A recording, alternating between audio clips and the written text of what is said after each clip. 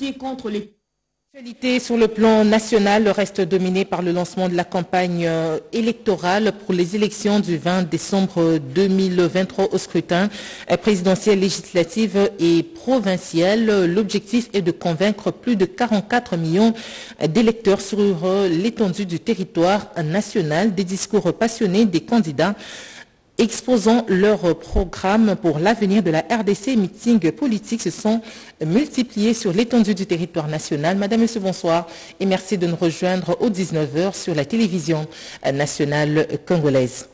Nous ouvrons ce journal par des questions climatiques et cela se passe à Bukavu. Quand il pleut, euh, tout le monde a peur et pour résoudre cette situation, le maire de la ville, Zéman Karouba, a lancé un projet qui consiste à planter des arbres, euh, réhabiliter les espaces verts et débarrasser les déchets toxiques euh, du lac. Une mission rendue possible grâce au financement de la Fondation Capillar. On en parle avec plus de détails dans ce reportage de Sandra Yangitabou.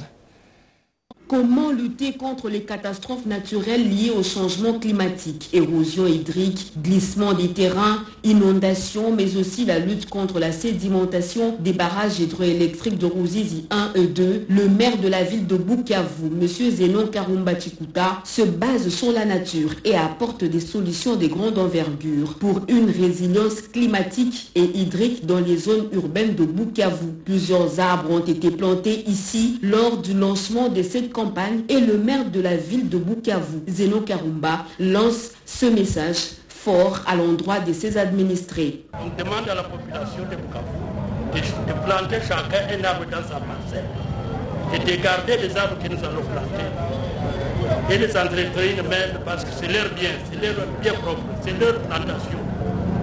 Ça appartient à toute la ville de Bukavu. Même la périphérie sera aussi on fera un effort de pouvoir distribuer s'ils trouvent la, nécessité de les aider avec les plantures qu'on peut leur donner. Protéger la ville de Bukavu contre les méfaits du changement climatique, ce projet va en outre créer des emplois pour les jeunes et les femmes. Ce partenariat entre la mairie de Bukavu et Ouvira ainsi que World Resource Institute, une organisation basée à Washington, est financée par la fondation Capillar. Quand il pleut, c'est tout le monde qui a peur. Il y a les glissements de terrain il y a les inondations.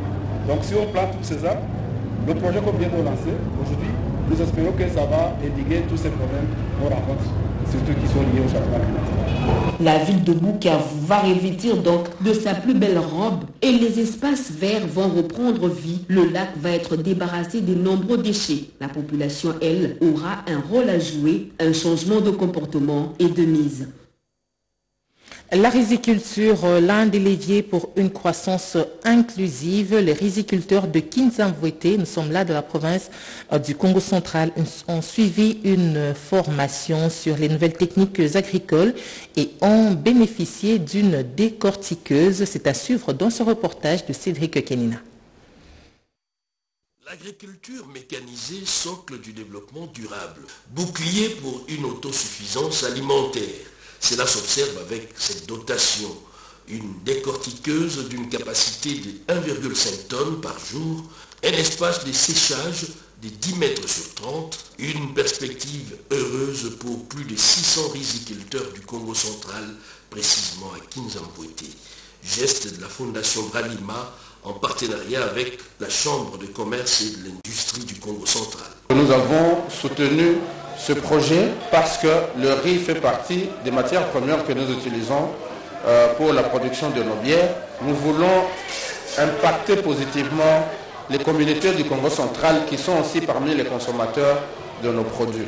En plus de l'appui matériel, ces riziculteurs, partie prenante au projet, ont bénéficié d'une formation de renforcement des capacités animée par les experts des DIR, une organisation spécialisée sur les activités de développement en milieu rural. Il y a une formation technique comme celle que nous faisons ici, mais il y a aussi notre formation qui doit arriver à faire comprendre à ces producteurs que ce sont des entrepreneurs. 50 participants à cette formation ont été outillés sur les nouvelles techniques des cultures du riz, la production des semences et la gestion post-culturelle de céréales. Ils seront à leur tour chargés d'organiser des sessions en cascade de cette même formation aux 550 autres riziculteurs de Banzangungu, Boma, Tchela, Luozi et Seke Banza, impliqués également dans ces projets. La Croix-Rouge de la RDC apporte sa pierre à l'édifice dans le cadre de la couverture santé universelle lancée par le chef de l'État Félix-Antoine Tshisekedi Chilombo, une campagne de mobilisation de fonds amorcée par la Croix-Rouge en vue de la matérialisation de ce projet, notamment en ce qui concerne la construction de l'hôpital humanitaire et des agences et des urgences portent déjà à ses fruits. C'est un reportage de Simon Kankolongo. La tournée effectuée dans le cadre de la diplomatie humanitaire par le président de la Croix-Rouge urbaine Kinshasa dans les différentes municipalités a permis de sensibiliser les autorités politico-administratives confrontées souvent à la prise en charge sanitaire des vulnérables en général et indigents, en particulier à contribuer activement à la construction de l'hôpital humanitaire et des urgences. Question d'accompagner véritablement la couverture santé universelle prônée par le chef de l'État Félix Antoine Tshisekedi Chilombo. La maître de la commune de Kintambo, Pépite Pilala, est la première à répondre favorablement à cet appel en apportant 1000 briques et 100 sacs de ciment pour permettre l'avancement des travaux amorcés. Je suis venu aujourd'hui apporter ma pierre à la construction de cet édifice en tant que première dame de la commune de Kitambo et que je vois qu'il est en train d'être érigé un hôpital pour le compte de la Croix-Rouge, mais en Croix-Rouge, je sous-entends indigent, parce qu'eux, ils prennent sans distinction de peau, de race, des tribus. Un regard de joie exprimé par le président provincial de la Croix-Rouge Kinshasa. Nous avons hier rencontré tous les promesses de la ville de Kinshasa. Aujourd'hui, l'un d'entre eux s'est dit non. Et les cris d'alarme de la Croix-Rouge, je dois répondre. La dame est venue aider tous ces vulnérables. Que je demanderai à tous ces vulnérables-là, dans nos prières, de penser à cette dame. En croire les autorités de la Croix-Rouge, cet hôpital humanitaire et les urgences va soulager tant soit peu la prise en charge des vulnérables. L'accompagnement du chef de l'État était au centre de l'installation d'un comité initié par les fils et filles ressortissants du Quilou. Ils se disent prêts de consolider les acquis de l'action du président de la République, Félix-Antoine Tshisekedi Chilombo des coordinations de la dynamique au soutien à la réélection du président de la République Félix Antoine Tshisekedi Chilombo s'est effectué avec FAST. C'est dimanche 19 novembre 2023, jour du lancement de la campagne électorale sur toute l'étendue de la République démocratique du Congo. Après quelques expériences malheureuses en 2006, 2011 et 2018, les Cuilois réunis autour de cette dynamique ont changé de fusil d'épaule pour soutenir le ticket gagnant, le numéro 20. Ils sont tous candidats à la députation nationale, provinciale et au conseil communaux. Cette initiative œuvre de monsieur et Mbala en vue de se rallier pour ne pas repartir à zéro vient à point nommé. Le fait pour nos partis d'avoir accepté volontiers le choix de Fatih Beton comme candidat unique et seul candidat de l'Union sacrée. Mais pourquoi nous avons expressé pour aller battre les campagnes de ce dernier Nous pensons que c'est d'ailleurs là le but. Ils sont José Moutima, Lorette Leke et Nathanaël Mapanda autour de Eric Kinzambi à la coordination. Ce bureau, qui représente la crème de la classe politique rangée en ordre de bataille à Bandung pour imploser tous les Quilous à la bonne cause. Nous, nous faisons bloc pour accompagner le potentiel candidat chef de l'État de la, de la mandature prochaine. Et puis, voulons plus nous mettre du côté de l'opposition. Ça, il faut qu'on le dise clair. Dans l'ennemi opposition, nous voulons accompagner le pouvoir pour que ça peut nous la Le ticket gagnant, c'est Félix Antoine Tshisekedi, le numéro 20. Le projet de vulgarisation et de, sensibilisation sur l'utilisation des extraits foliaires pour lutter contre la malnutrition dans la province du Kassai oriental s'est clôturé le vendredi 17 novembre dernier. Plus de détails avec Gaëtan Magalano. C'est une rencontre qui réjouit les habitants de Kabea Kamwanga dans le Kassai oriental désormais outillé pour lutter contre la malnutrition grâce à ces projets.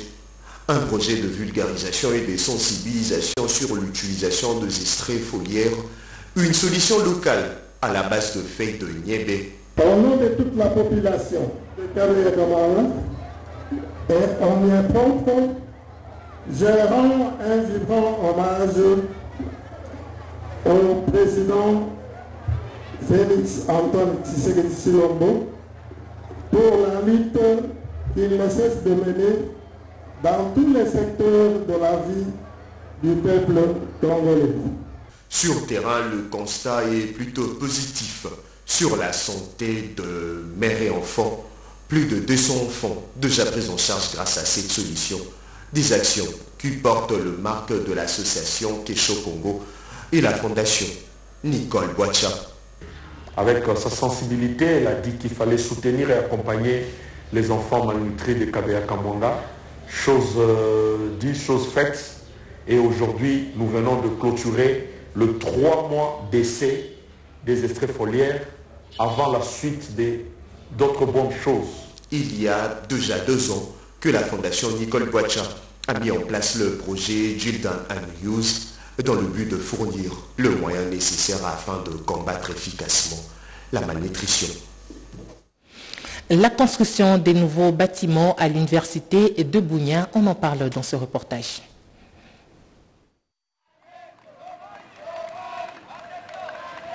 Habillé en blanc et scandant de chansons nationalistes, la marche est partie du lycée Tchem jusqu'au cabinet du gouverneur en passant par les ronds-points Kappa et pique-nique. Le message était unanime pour tous les participants. Soutien au FRDC dans leur mission régalienne. Deux élections apaisées dans les provinces de l'Uturi, du Nord Kivu et la lutte contre les messages de la haine. Nous, comme population, nous devons accompagner notre armée. Raison pour laquelle aujourd'hui nous marchons pour accompagner notre force armée.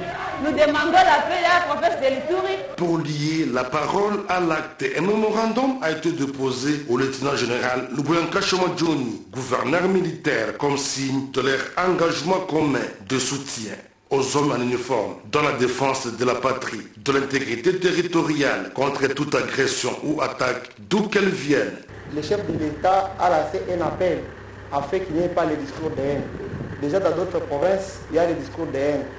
Afin de ne pas mettre à péril les efforts consentis par vous, nous avons voulu également combattre ces fléaux en manifestant notre, notre apport. Engagement salué par l'autorité provinciale qui se réjouit de voir la jeunesse itourienne être initiée à la culture de la paix et de la non-violence. Je suis quand même très content parce que ici vous parlez de l'agression et vous parlez aussi du sacrifice que la jeunesse est en train de faire.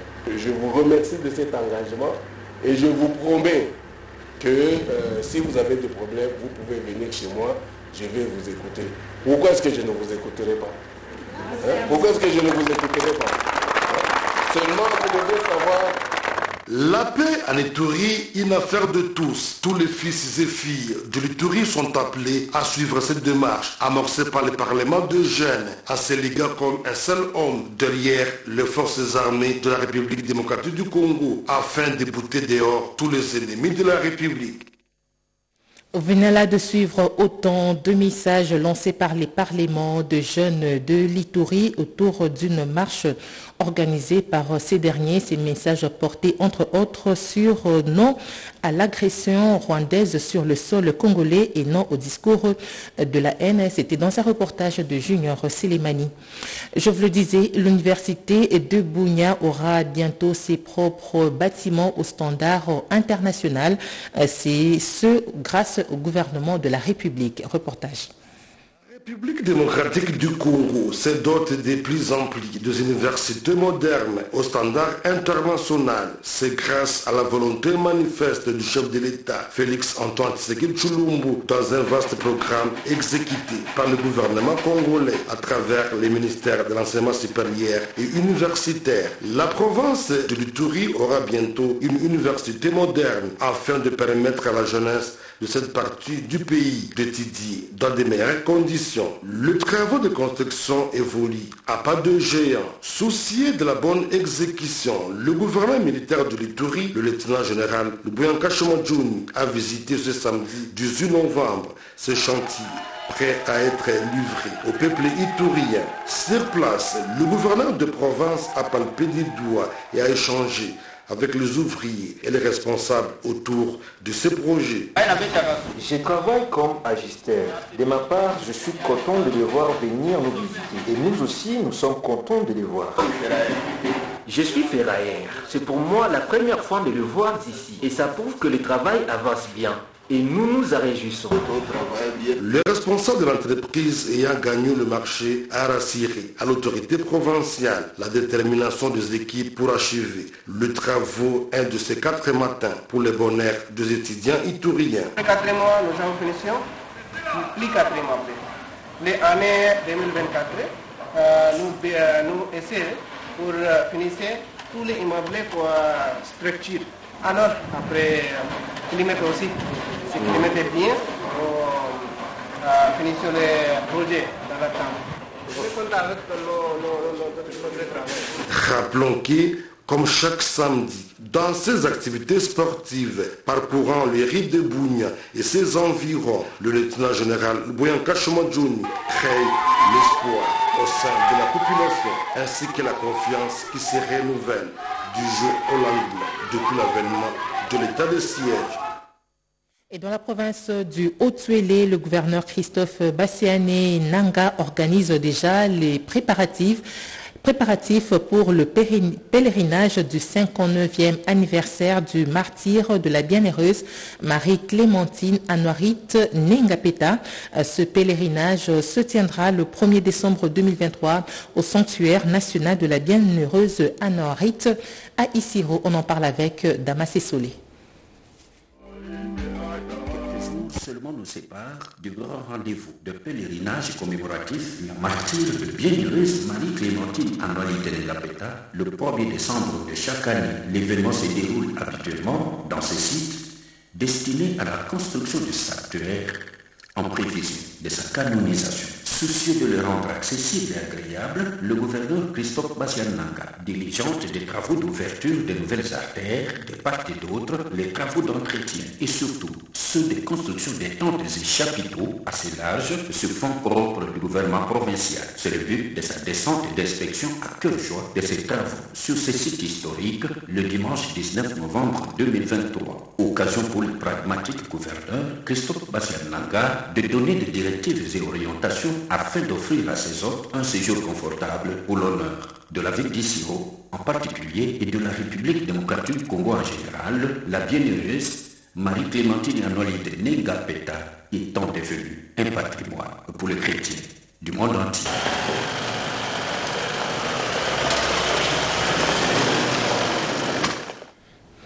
Et pour lutter contre les harcèlements sexuels dans la province du Kasaï, la ministre provinciale du genre a sensibilisé les élèves de cette province à dénoncer tout cas d'harcèlement sexuel en milieu scolaire. On en parle dans ce reportage de Franklin et Claire Calombo de ces complexes scolaires, la ministre Denise Moulouka a invité les jeunes filles et garçons à se prévenir contre les abus sexuels et à dénoncer tout cas d'harcèlement sexuel dans le milieu scolaire. Je suis parent, je suis enseignante, je fais la pédagogie.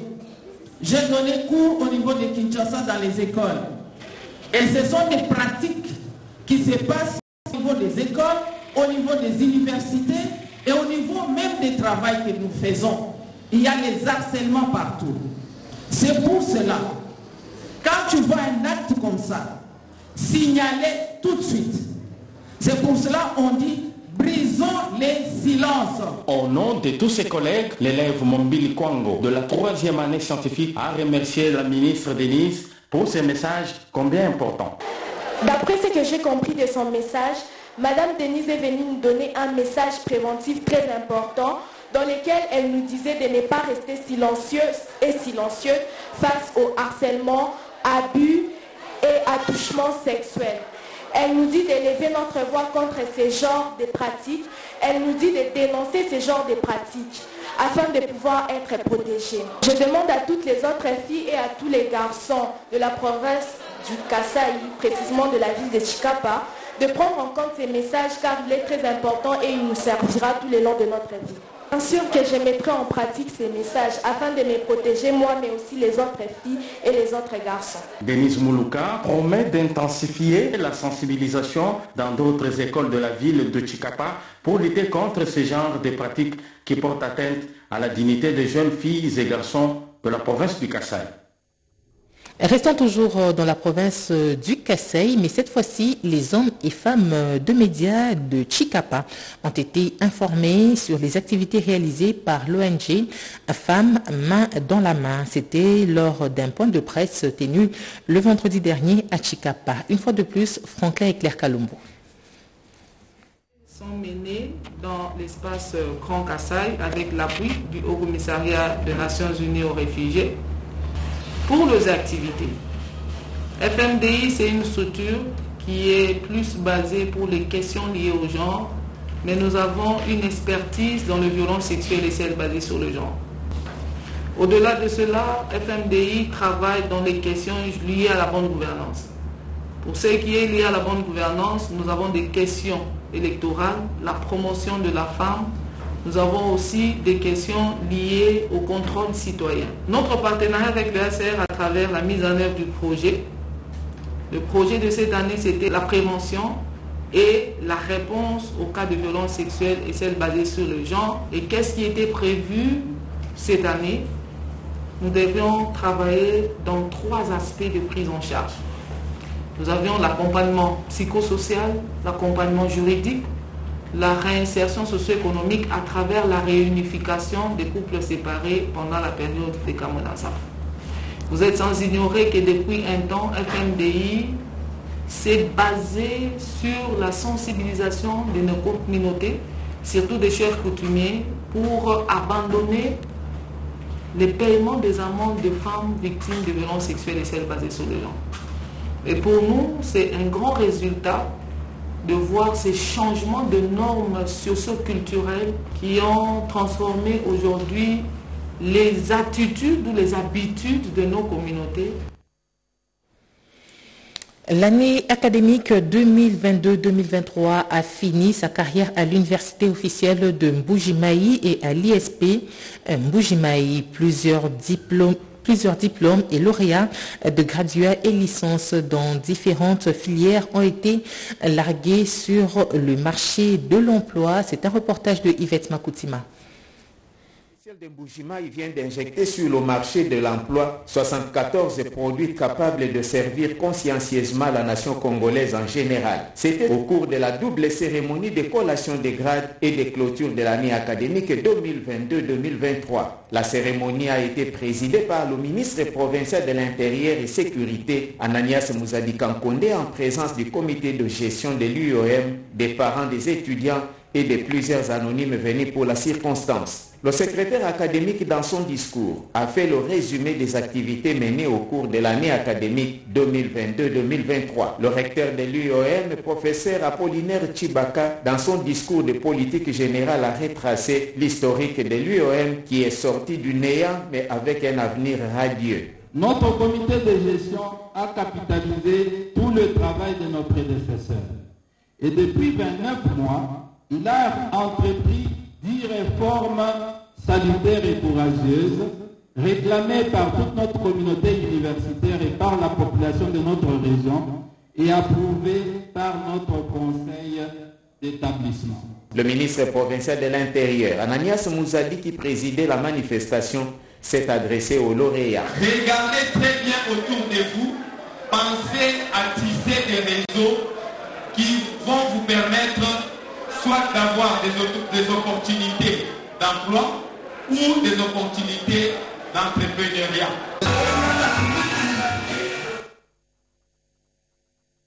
revient avec la même activité, mais cette fois-ci dans la province du Holomami.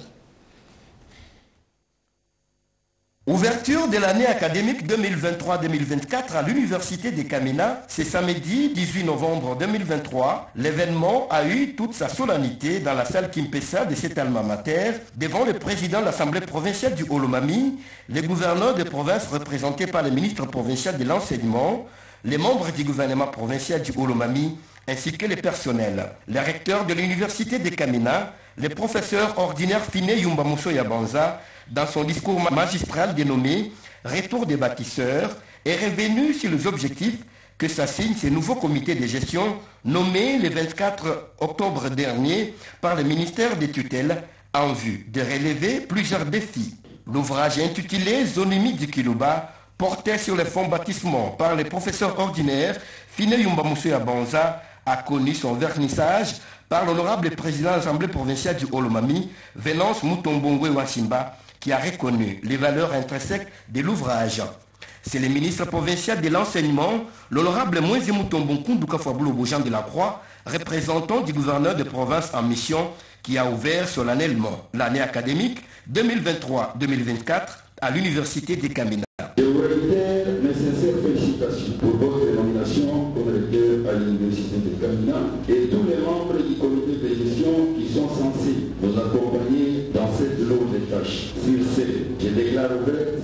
L'année académique 2023-2024 à l'université de Camina. Je vous remercie. Déjà ce lundi, 20 novembre 2023, les étudiants de cet alma mater vont reprendre les chemins du savoir. Rendons-nous dans la province du Kassai central pour parler de la réception du projet budgétaire de l'année 2024. Reportage. Un projet présenté en équilibre, aussi bien en recettes qu'en dépenses, à l'ordre de 358 milliards. 320 millions 805 637 francs congolais, soit 142 millions 222 769 dollars américains, au taux budgétaire de 2518 francs congolais pour 1 dollar. Le chef de l'exécutif provincial a précisé qu'il s'agit du respect du délai constitutionnel pour son gouvernement d'avoir déposé cet édit en attendant que l'organe délibérant convoque une plénière pour ce faire. Nous sommes dans les délais constitutionnels pour le dépôt du projet de dédit budgétaire 2024. Et nous avons tenu compte de toutes vos recommandations et nous attendons de votre part l'invitation pour venir défendre le projet de dédit budgétaire 2024.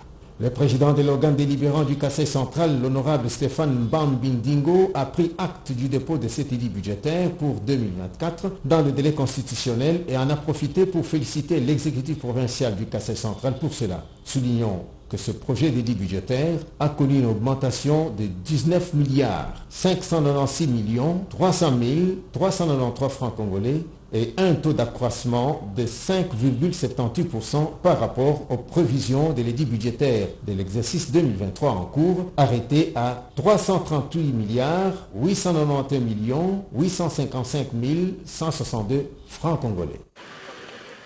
Nous allons parler à présent de la clôture des travaux de la session budgétaire 2024 à l'INPP. Occasion pour le directeur général adjoint Patrick Kaembe d'inviter le personnel à plus d'abnégation pour affronter le défi sur le marché congolais. Séverine Pascal Katanga, Katanda et Patrick Batibanga. Pour une budgétisation des dépenses de l'année 2024, le conseil d'administration de l'Institut national de préparation professionnelle s'est réuni depuis le 13 octobre dernier en session budgétaire pour l'élaboration des prévisions en tenant compte de l'amélioration de la gouvernance et du pilotage la qualité de prestation, les renforcements du déploiement territorial et le développement des partenariats solides. À l'occasion de la clôture des travaux, le directeur général adjoint de l'INPP, Patrick Kayembe appelle à la conscience des agents et cadres de cette institution de travailler de manière efficiente pour accomplir la mission lui assignée par l'État congolais. Des réalisations de 2024 à l'INPP ne visent qu'à améliorer davantage les conditions d'apprentissage dans différents centres avec l'appui de partenaires. Ces améliorations vont poser les bases permettant à former les techniciens afin de faire face à la demande du marché d'emploi au regard de l'évolution technologique. La qualité de nos prestations en faveur des entreprises et des sans-emploi en ces moments de compétition de tous bords dans les secteurs fera en sorte que nous ne parions pas au défi de la compétitivité et gardions notre leadership dans le domaine de la formation professionnelle. Le DGA Patrick Kayembe sollicite de la part de chacun une dose supplémentaire d'abnégation et le travail constructif. À l'Institut national de bâtiments et travaux publics, INBTP, elle vient de totaliser 30 euh, ans d'existence. Une matinée scientifique placée sous le thème Le métier des géomètres topographie et ses multiples défis a été organisée pour cette célébration. Reportage. Promotion géométrie, topographie, GT93 célèbre ses 30 ans d'existence.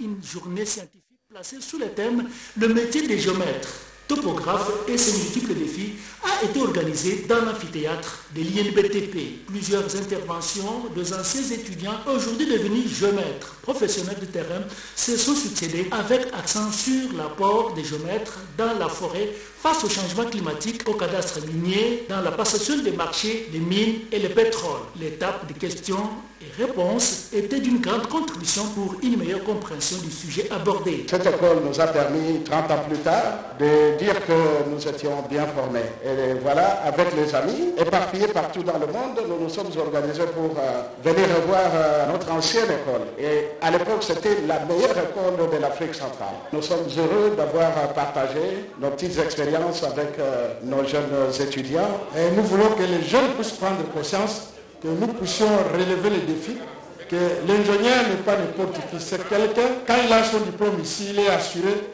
de gagner sa vie. Ça fait un très grand plaisir de partager avec eux une journée spécialement scientifique qui nous a ouvert encore un esprit, qui nous a donné quand même des connaissances adéquates pour que nous puissions bien évoluer en termes de la formation que nous suivons de l'ingénierie en géomètre et topographe la GT93 a saisi cette opportunité pour remettre à la section géométrie de l'INBTP un don de matériel didactique tels que les drones, l'ordinateur et des rames de papier, une façon de marquer leur passage dans cette institution de formation. Après la séance scientifique, le dimanche 19 novembre dernier était réservé aux festivités des jeunes candidats aux élections de décembre 2023 à la désinformation et au discours de la haine, les Nations Unies en partenariat avec la CENI, la DINAFEC, Laboria et d'autres structures ont organisé un atelier de sensibilisation auprès des jeunes candidats. C'est un reportage de Mamita Bangoulou.